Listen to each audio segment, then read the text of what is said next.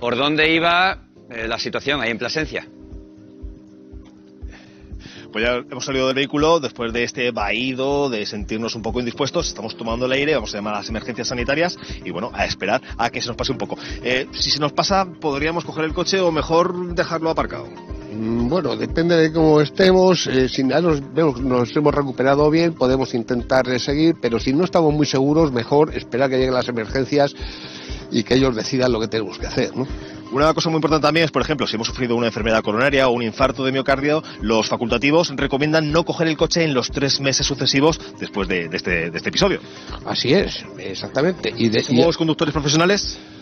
pues eh, debemos seguir las prescripciones médicas, eh, para eso están nuestros médicos eh, de cabecera, los cardiólogos, que son los que nos, nos dicen lo que tenemos que hacer, ¿no? Las Seguir, prescripciones. por supuesto que sí, seguir las prescripciones de los médicos y, por qué no, también de los expertos en conducción segura. Desde aquí también nos congratulamos, eh, damos, eh, nos, nos alegramos de que este señor esté en perfecto estado, pero eso sí, eh, vamos a evitar que se produzcan situaciones como esta, porque, como repetimos, no solo ponemos en peligro nuestra vida, sino también, por supuesto, la del resto de los conductores. Eso es. Gracias, Manu, gracias por todos esos consejos. Afortunadamente, este vehículo no se empotraba contra